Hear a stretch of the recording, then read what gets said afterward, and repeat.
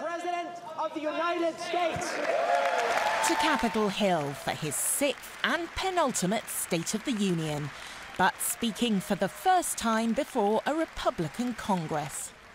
A president who'd set out to extricate America from its foreign wars is now having to cope with a myriad of new challenges abroad, not least the jihadist threat to ancient allies like France. We will continue to hunt down terrorists and dismantle their networks, and we reserve the right to act unilaterally, as we have done relentlessly since I took office, to take out terrorists who pose a direct threat to us and our allies.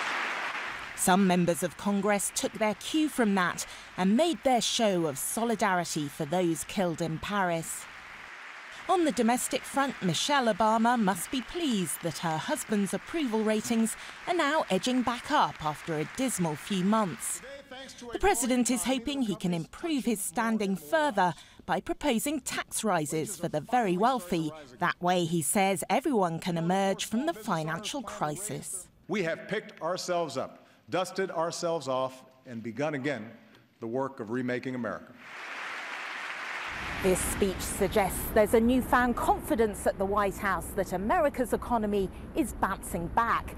That and the fact that Barack Obama doesn't have to fight for re-election means he can afford to be a bit bolder in his final two years in office.